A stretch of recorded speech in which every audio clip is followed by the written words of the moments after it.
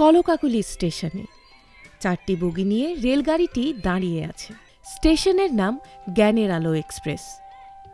গন্তব্য ধাদাস টু মহাকাশ। শিশুদের এখনই মহাকাশে যাওয়ার স্বপ্ন যে স্কুলটি দেখাচ্ছে, সেটির নাম ধাদাস সরকারি প্রাথমিক বিদ্যালয়। বাস্তবে বিদ্যালয়ে কোনো রেলগাড়ি নেই। উনিশশো সাতষট্টি সালে নির্মিত চারটি কক্ষকে রংতুলির আঁচড়ে রেলগাড়ির রূপে সাজানো হয়েছে। একটি গ্রন্থাগার, অন্য তিনটি শ্রেণীকক্ষ। প্রতিটা জীবনেরই মানুষেরই একটা হচ্ছে জীবনের জার্নি থাকে। সেরকম এই ট্রেন থেকে আমরা যেরকম, এই স্কুল থেকে ধাঁধা সরকারি প্রাথমিক বিদ্যালয় থেকে আমাদের জার্নিটা শুরু। আর এই ট্রেনটা বানানো হয়েছে যে আমাদের গন্তব্য দেওয়া আছে ধাদাস টু মহাকাশ। মানে আমরা এইখান থেকে আমাদের শেষ গন্তব্যে পৌঁছে যাব, মহাকাশে পৌঁছে যাব। বিদ্যালয়ের পূর্ব দিকের পুরনো টিনশেড ভবনটিকে সাজিয়ে তোলা হয়েছে রেলগাড়ির আদলে। ভবনের ওপরে কলকাকুলি স্টেশন লেখা সাইনবোর্ড। অথচ এই ভবনটি একসময় পরিত্যক্ত ঘোষণা করা হয়। ইটের দেয়াল আর টিনের ছাউনির সেই ঘরে ক্লাস করতে মন খারাপ হতো শিশুদের। প্রধান শিক্ষক দিলরুবা খাতুনের হাতের ছোঁয়ায় পুরো স্কুলটি বদলে গেছে। দুই হাজার দশ সালে প্রধান শিক্ষক হয়ে আসেন দিলরুবা খাতুন। জীর্ণ কক্ষগুলোকে সাজিয়ে তোলেন। প্রধান ফটকের পাশে কৃষ্ণচূড়া গাছ গাছের নিচে মানচিত্র এঁকে লেখা সব মহাদেশের নাম। ছবি টবি আঁকানো আছে তারপর ম্যাডামেরা ভালো।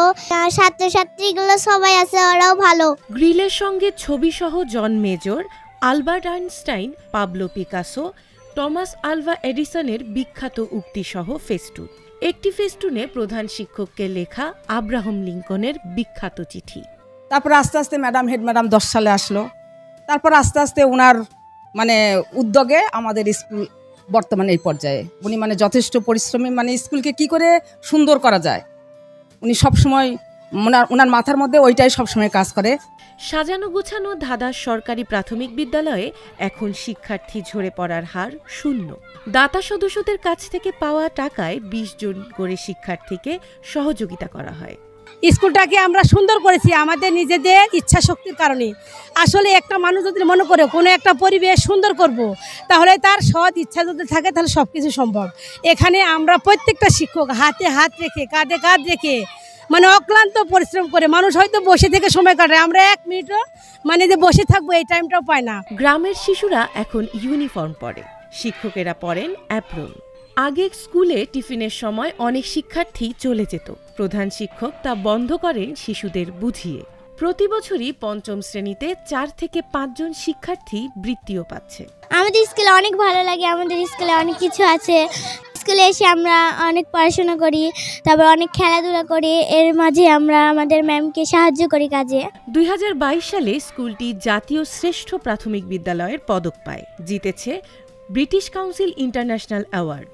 বিভিন্ন প্রতিযোগিতায় অসংখ্য পুরস্কার জিতেছে স্কুলের শিক্ষার্থীরা। আজ পর্যন্ত স্কুলকে নিয়ে আমার যতগুলো অর্জন, আমি চাই আমার স্কুলের শিক্ষার্থীরা তাদের আন্তর্জাতিক অঙ্গনে তারা তাদের ছাপটা রাখবে।